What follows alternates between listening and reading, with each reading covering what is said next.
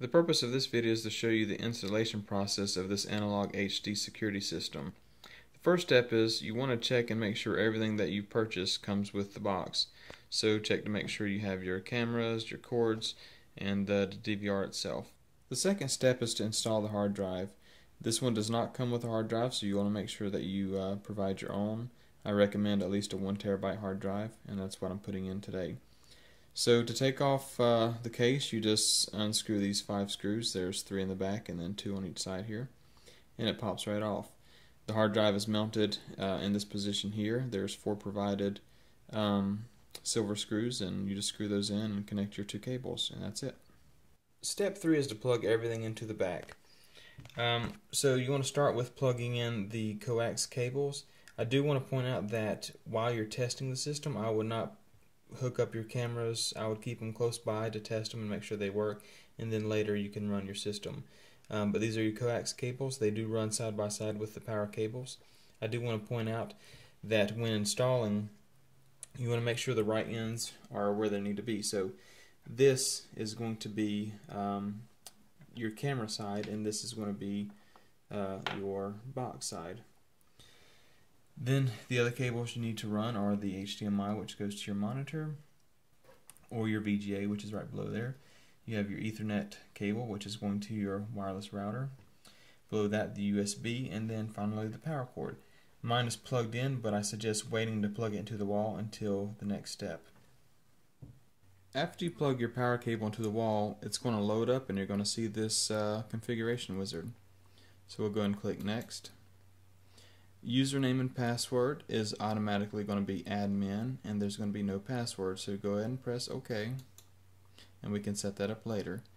I'm going to go ahead and run through these settings here and after that I'll meet you on the next screen.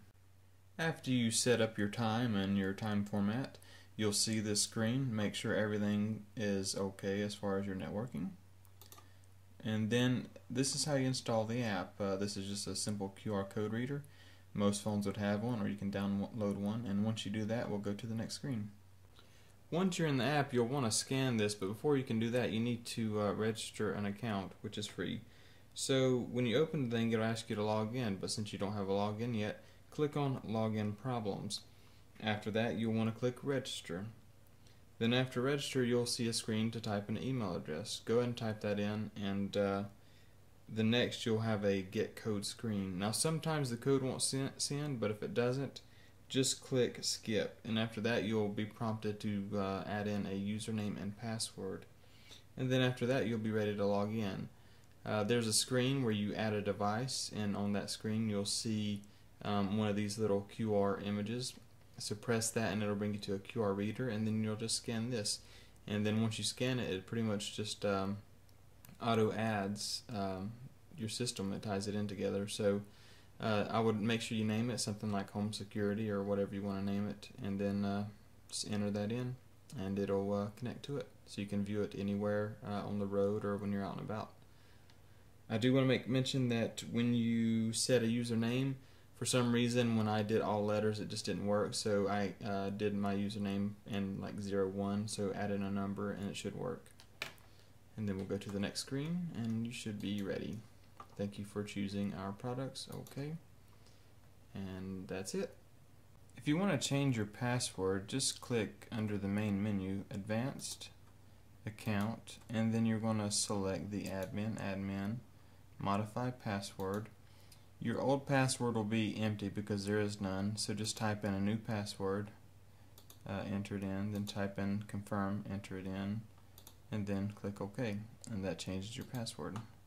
Since this is a four channel analog system you simply add or remove channels by unplugging them from the back of the box. Now I did uh, look in the menu options here and it does seem that there might be um, a way to do possibly like a split digital and a split analog um, system. So if you go to uh, channel type here it looks like you could do like two analog and two digital um, but I'm not able to set that up at this time. Um, and then you can go into your digital channels and config those. Um, so that looks like it may be an option. Um, I just thought I'd mention that. For recording and playback, by default, it looks like the system sets all your cameras just to record um, by schedule from basically uh, all 24 hours. So you don't really have to worry about messing with anything unless you want to um, adjust the times that they record.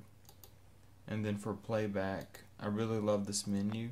You have a complete 24 hour um, timeline at the bottom. You have your um, controls, your pause, fast forward, rewind, etc. And you have an easy to read um, date here. So you just click the date and you can see if it's recorded it'll have green here. So since we had recently reset the um, hard drive it's just showing uh, this recording the small clip down here. But if you had been recording for the entire day it should probably be all green. Um, but yeah you just click it and uh, it's easy to play back. It's a really cool feature. I just love the simplistic layout that they've had uh, with this system here if you want to change the name of your cameras, just go into display, uh, channel title, you want to set it, and uh, you can change it from the default cam 1, cam 2, etc. And you can just name it whatever you want to. It's uh, easy enough to do. Just to give you an idea of the app, um, once you open and put in your login information, you'll come to the screen that shows your device list. And I just named mine home security. And once you open that it'll uh, load up your cameras and you can check on them uh, and it loads really fast.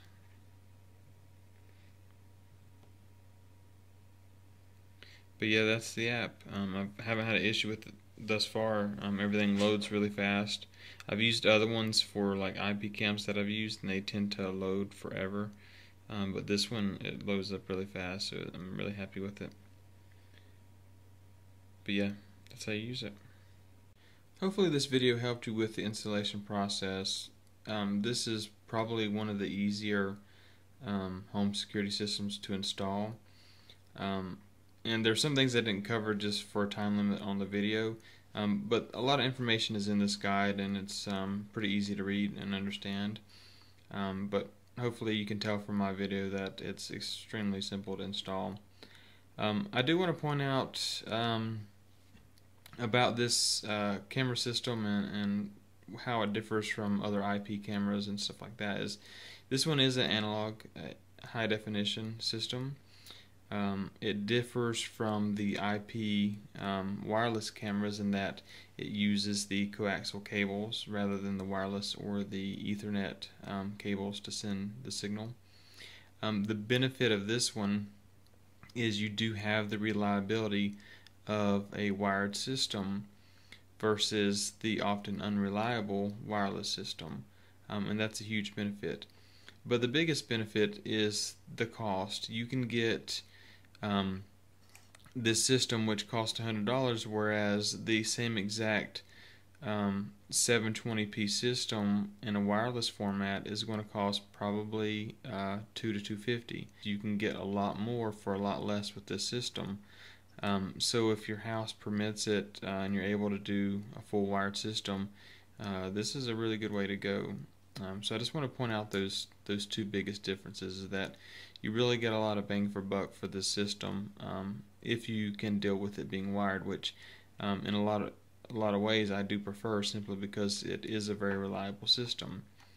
Um, I have used wireless systems and sometimes they do go out um, or lose signal, whereas these, uh, your signal is strong. Uh, you don't really lose it. So just consider that um, a benefit if you're looking at getting uh, this analog system. Hopefully this video helps. I appreciate you watching.